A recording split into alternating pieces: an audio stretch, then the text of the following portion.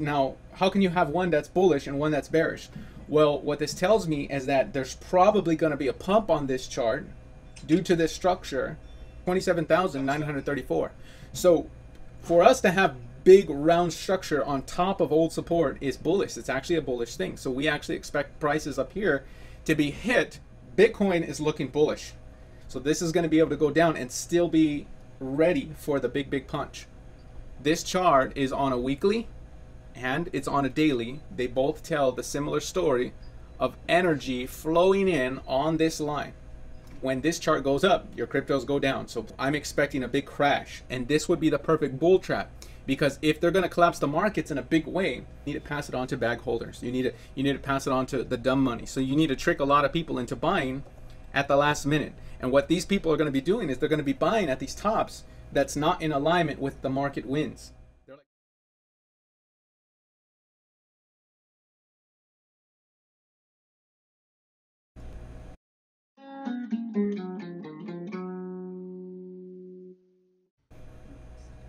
Hello team, today is July 26, 2022 and there's been a lot of uh, things happening in the market in preparation for this week's activity.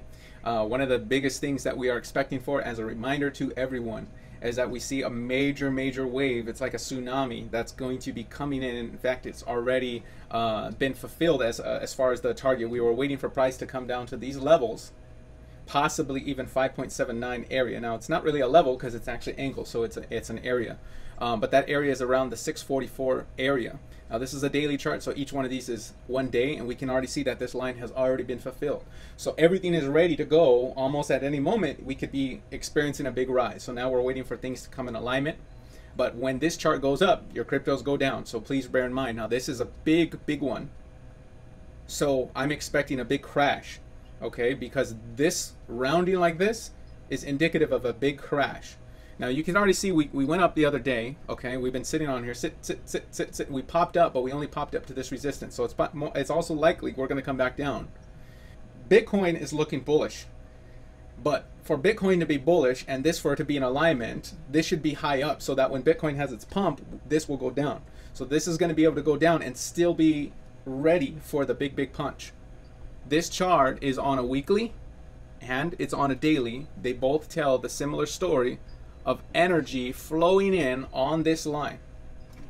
Okay, so this is energy flowing in. This is why at the end of the month, possibly at the end of the month, things are going to get dangerous. Now, I had a dream that I saw a big danger on July 29th, and I had that dream about two months ago. So I had I saw a big danger. I also saw a pump towards uh back like a recover uh, a pump in August. But when I looked at the numbers in my dream, it appeared that it was more of a recovery in August. So I also saw that there was a period of like about one or two days where there was just blood in the water and everyone was just like, what do we do? And they didn't know what to do. And I called up my friends and hey, we need to be buying at these bottoms because it is going to be a bottom. If you compare that with some of the intel we heard uh, earlier last month about there there there still being some more downside, and a major player was going to default. Well, we didn't hear about any major player defaulting. So these big banks and institutions are still waiting for a default. Now we heard of the real the real estate market defaulting, and we started seeing stuff that's happening in China with the the the people uh, the banks shutting down. We also saw this month exchanges shutting down, but none of the big big exchanges are, are, are still shut down yet, and the market is still, for the most part, hasn't crashed since Luna. So we kind of just been building health since the first Luna crash. So all this points to still one more moment. I compare this to Melody's dream. She had a dream where the big tree fell, but it didn't fall all the way. It kind of just stopped, and then later on it fell. I combine this with other dreams that you guys sent me about there being a lot of still uh, a big, big crash after a pump. Okay, so a big pump and then crash. Now, they were seeing a pump in Bitcoin. So if we combine this information with the Bitcoin chart, okay, and we're going to look just quickly at Bitcoin so you guys all know what Bitcoin's doing. We're still expecting a pump on Bitcoin at certain price levels, and I'm going to show you where it's at. All right, this is the lines that we're expecting support to come on, okay? I'm going to move this down to the bottom so you can see it's just to highlight this red line. So I'm going to make sure I bring that in full focus, okay, full opacity. Today, or over the last couple days, we've seen price come back here. This is still healthy. In fact, it's now rounding. So this is really good for this maneuver. Okay. This is the maneuver I always draw on almost every chart. Okay. But we already, this is why I'm showing this arrow up here like this because we're expecting this. Now, when I draw a white box, that means I am expecting a target to be hit higher up. But as time goes on, this, this target's going to get lower because it's dependent on time. So if it went up today, the highest it's going to hit, if it went up today, which is not going to hit go up today, I don't think so. But if it went up today, that number is going to be approximately 27,934. So for us to have big round structure on top of old support is bullish. It's actually a bullish thing. So we actually expect prices up here to be hit, but this now, how can you have one that's bullish and one that's bearish? Well, what this tells me is that there's probably going to be a pump on this chart due to this structure, but it's not going to change the whole USDT.D situation on the weekly chart and on the daily chart there because when you're dealing with structure on the weekly chart, you're talking about the bigger fish. The bigger fish is the principle of the the strongest fish in the pond is going to eat the other fishes. And he thinks he's the biggest strong. Bitcoin thinks he's the baddie until USD on the weekly chart shows, no, I got to trade and I'm going to wipe you out. And that's exactly what's going to happen. So I wouldn't be surprised if you start seeing support at this level, right? Uh, or at these on top of this line. Okay. And we're seeing a pump. Okay. We're seeing a pump in the volume on this down bar. And then also this little bar right here has also almost the same exact volume, but we're closing now towards the highs. What does that tell us? Well, according to volume spread analysis, this increases the probability that this candle right here included a lot of buying, hidden buying, okay? Because the volume is almost the same as this long red candle, but this candle didn't end down. It ended at the top for a close. So how can you have all that activity? What is that? It's most likely hidden buying. If the next bar is up bar, especially if it's on higher volume, it's even more confirmation that there was buying in this area. So we can cover that again possibly tomorrow during tomorrow's group. But what I'm saying is it's very likely we're going to see buying at this area and support, as I told you guys on uh, yesterday in the in our 8 a.m. class. So please be looking for a possible pump, and, and if Bitcoin goes up, you're going to see a lot of pump.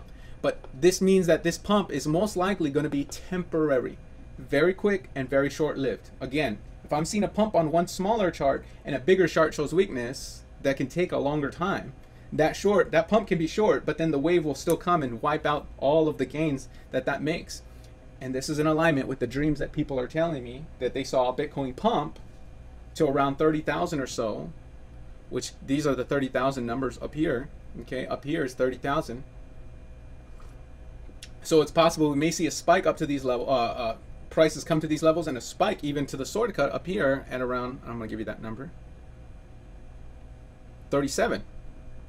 Here's the next resistance below that, the next main one, 34. Okay, so these are these are possible roofs. If it happened tomorrow, these are the possible roofs. I wouldn't be surprised if we have a candle close here, spike up to here, and come right back down and close on these levels. After it closes, the tsunami is going to come in and it's going to go down. And this would be the perfect bull trap because if they're going to collapse the markets in a big way, if the markets are going to collapse in a big way, you need to pass it on to bag holders. You need to you need to pass it on to the dumb money. So you need to trick a lot of people into buying at the last minute. And what these people are going to be doing is they're going to be buying at these tops that's not in alignment with the market winds. They're like going in the wrong direction because the winds is that tsunami coming in that's telling us down movement, down movement, down movement. So that one is going to bring the markets down and Bitcoin saying, "Yay, go high, guy. Look, Bitcoin's going to hit the roof." So if you see that pump possibly tomorrow, okay, then you know it's dangerous. So if you were going to be getting into, into Bitcoin, I don't want anybody asking me, hey, should I be buying Bitcoin at 27,000? No, unless you're breaking, no, not even that, because we're going against the market winds. Okay, so if you're going to be buying Bitcoin, you need to be buying it on this level because that's already the structure you want. That's that round shape that I draw all the time. Okay, this is the round. So if you are going to be buying Bitcoin, you need to buy it at these prices to go up. All right, so I'm just giving this recap to everybody. Most of you guys already know what's going on. But remember that we're expecting the pump from these prices to here, not from here 27,000 up higher. If it goes up higher, praise God, but uh, to me my target's already been fulfilled, so I want to get out of a lot of my cryptos when Bitcoin's hitting this number. I want to get out of a lot of cryptos because there may be a crash. This includes a possibility that Luna will have a pump as well tomorrow, Luna Classic. And when that pump at the same time of Bitcoin, but if Bitcoin goes down, you might see the whole market go down, and Luna also could suffer. And that goes in alignment with the dream I posted on on on, on uh, YouTube about two weeks ago. So this is kind of important to think about, team. Okay, so this is this is really important to, to think about your moves. I'm giving you what should be happening or the, what the data is showing is the most likely scenarios. And sometimes you have to think objectionably because you have to look and weigh out both circumstances. One chart says we're going down. One chart says we're going up. But this chart is way bigger, but it's slower. This chart is smaller, but faster. So this fast one may hit the target and then the wave comes in and destroys. So we're thinking two to three moves in advance and how it will affect other cryptocurrencies, such as Luna. We may see Luna pump.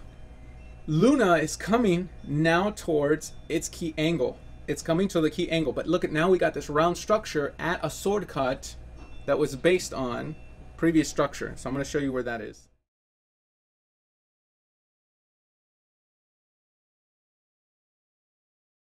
Go up. Everything in this video is not financial investment or trading advice of any kind. Everything is just for entertainment, educational, and comedic purposes only. Bear in mind that I eat red crayons for breakfast, and so so should you guys too.